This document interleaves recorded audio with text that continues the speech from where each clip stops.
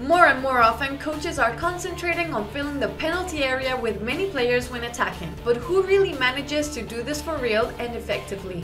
The podium of the Italian teams is absolutely stunning. On the top, we find Udinese, with figures that equalize Mikel Arteta's arsenal. Now, Samardzic has a chance! Oh, that's beautiful! The first shot on target in the second minute of play.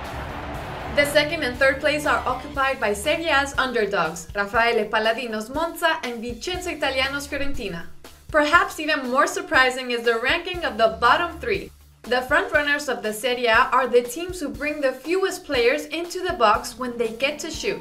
Got El Shaarawy in support, Abraham joining in, Zeki Celik, Tammy Abraham!